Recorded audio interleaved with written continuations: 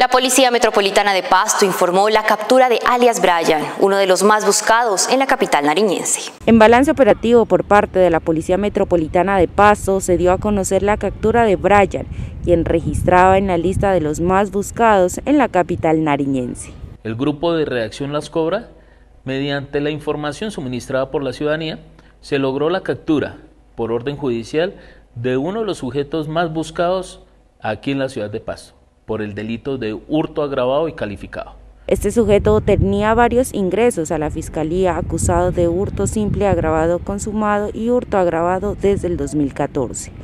El pasado mes de mayo se emitió una orden de captura en su contra por hurto calificado y agravado.